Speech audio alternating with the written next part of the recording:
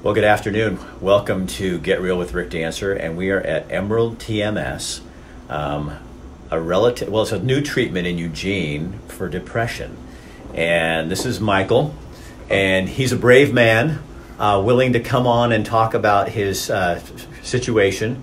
And this happens to be his last treatment. So you've had how many treatments, Michael? Do you know? I think this will be my 36th. For me, uh, it really was from the beginning as if uh, the things I did and the things I thought were like sand on a beach. Just Before it starts